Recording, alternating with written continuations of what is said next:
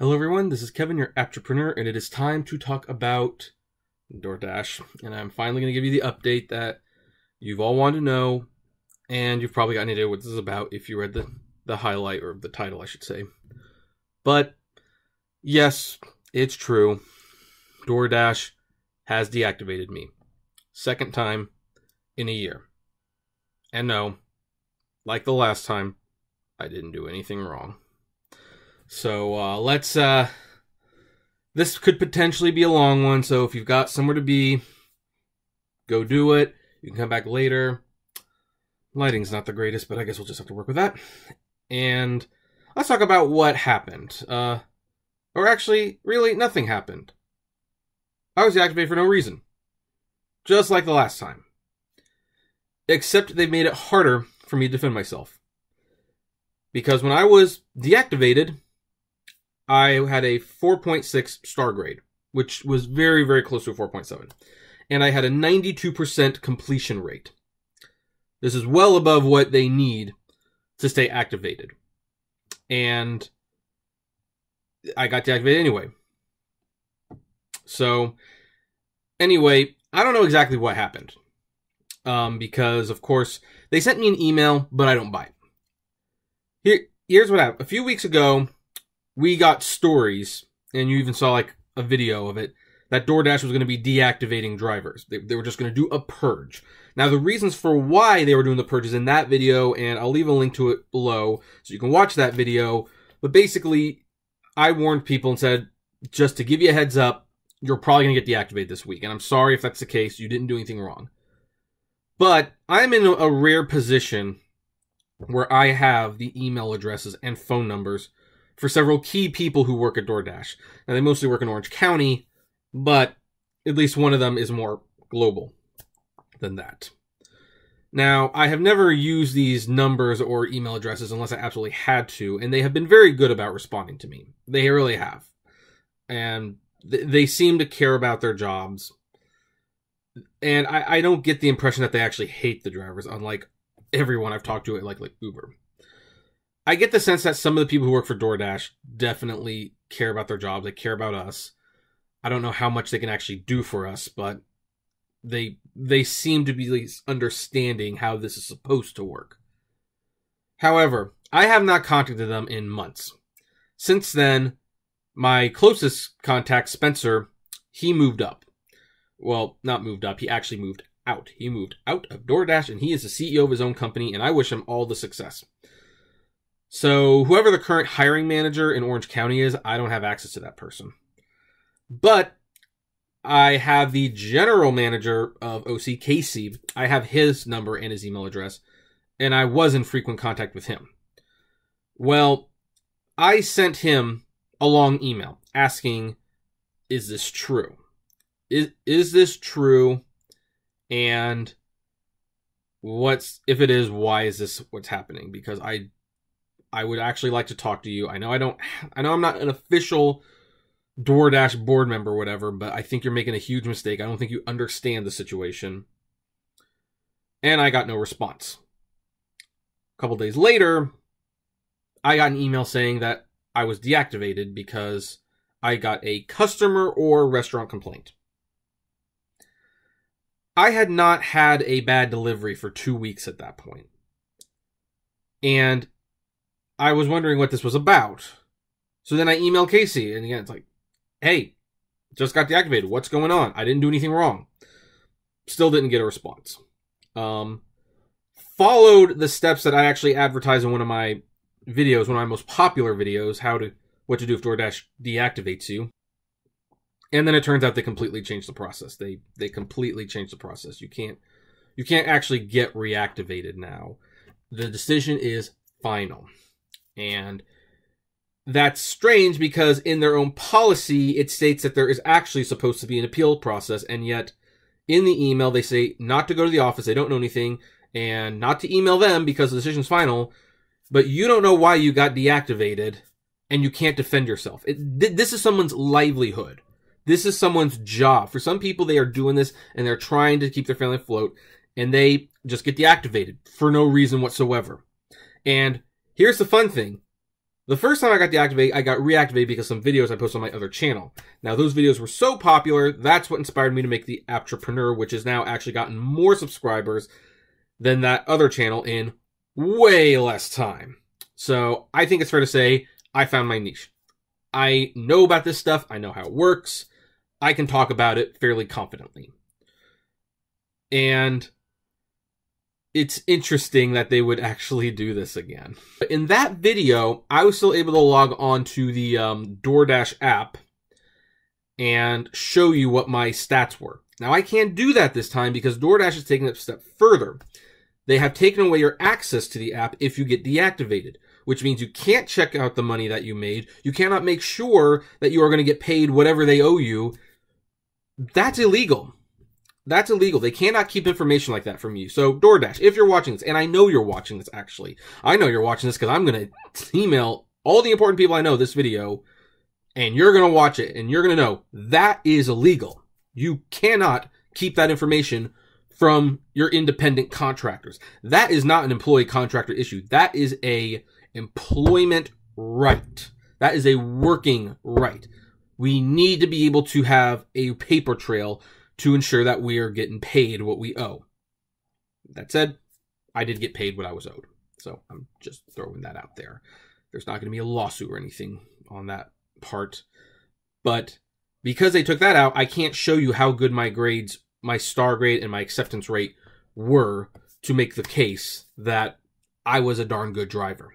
I was a very good driver. Eh, or dasher, yeah, dasher. So that's so that's one thing.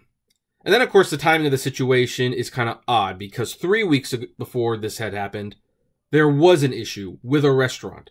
Now, I took that video down briefly because I was getting comments like this on the video, and you know, unfortunately, you have no idea how serious trolls are, so I just kind of took it down just to um protect my job, so to speak. And some of those trolls will probably say, "Oh, we got you fired."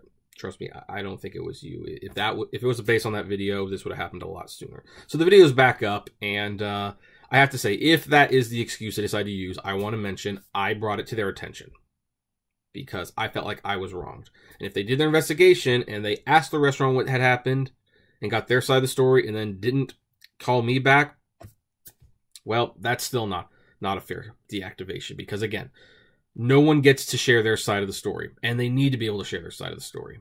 Like that is just not right and it it's terrible. But i don't think that's what it was.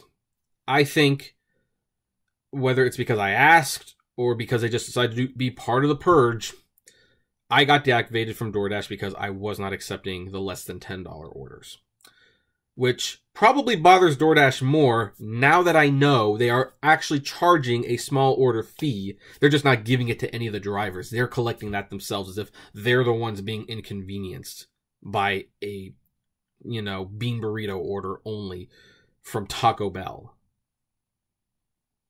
Like it's it's stupid. And here and the reason I held off on making this video because I definitely did have plans for DoorDash. I had big plans for them on this channel. But I wanted to make sure that what was happening is what I assumed was happening. And I have gotten email after email from people saying, I just got deactivated. I had a 4.9 star grade and I had 98% acceptance rate. And it's like, it didn't make any sense. And I can't even go into the app to check and show you guys. It's so it's madness.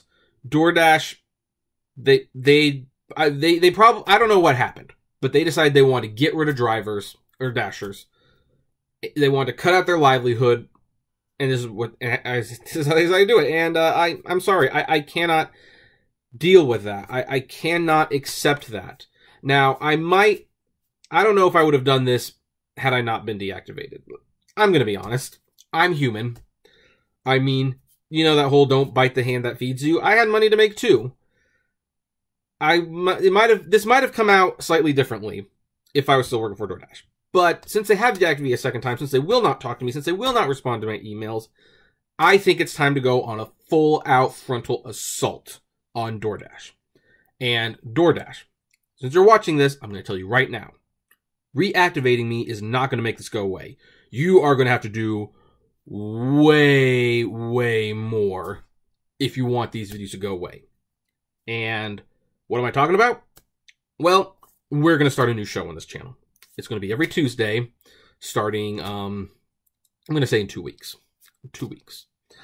And it's going to be, I'll think of a clever name for, for, for, for it, but basically, we're, I'm going to be making videos and we're going to be bringing DoorDash some very, very much needed public humiliation.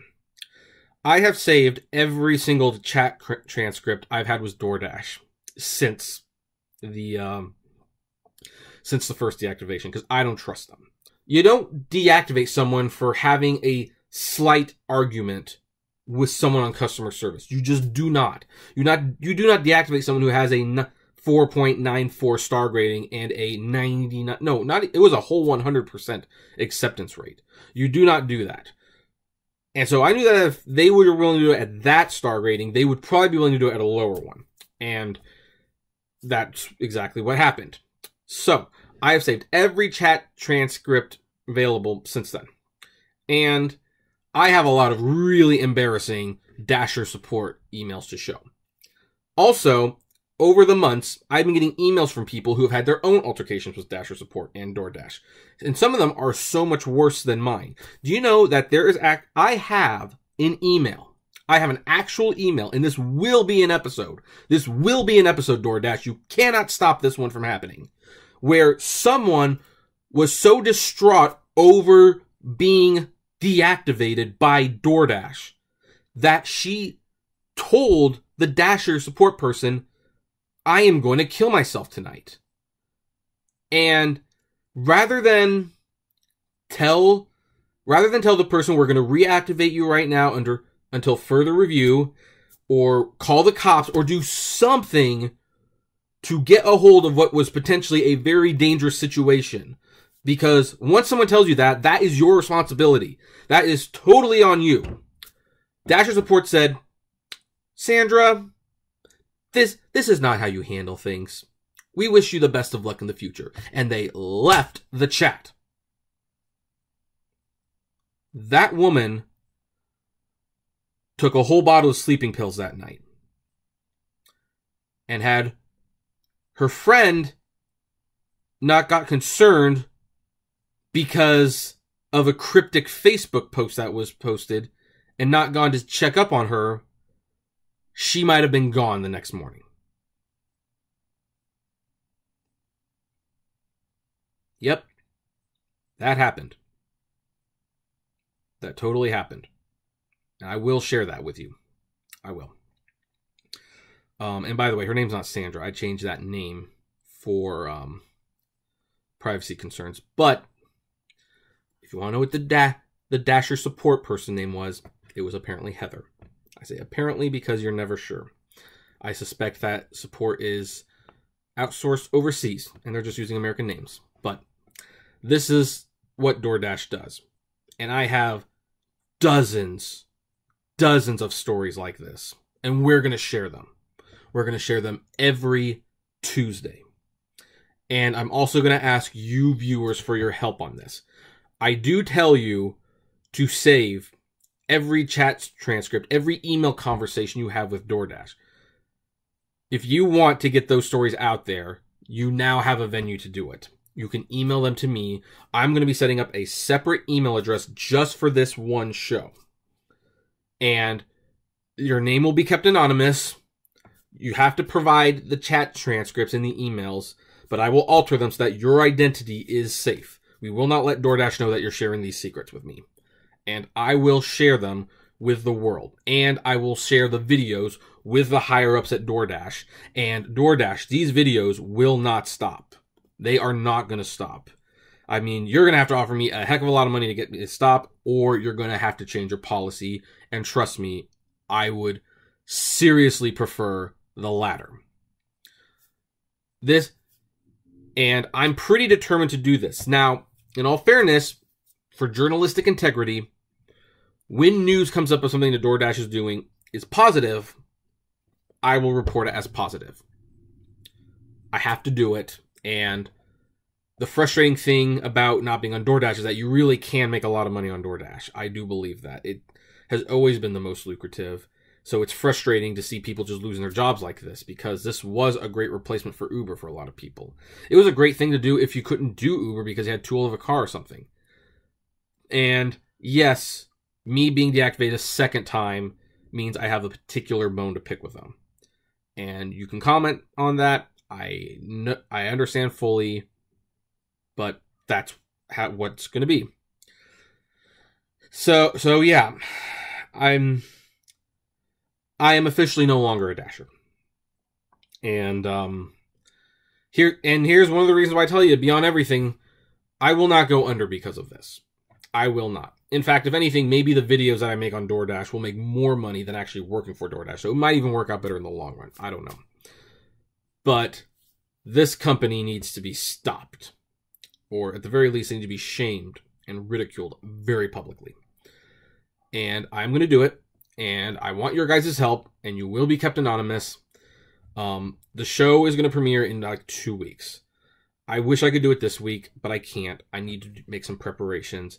And that's a thing where it's like I want to film at least three or four episodes before I start start uploading them. So on the off chance I have some weeks where I can't upload a new episode, there will be a buffer. And I'm going to keep my DoorDash shirt just for the show. Because what better way to make this all the more hurt, I suppose. Hurt? Ironic? I don't know. Than being an official DoorDash Dasher doing these videos. Ooh. I might even wear a DoorDash cap.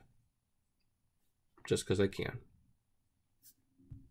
Well, anyway, you y'all wanted the update.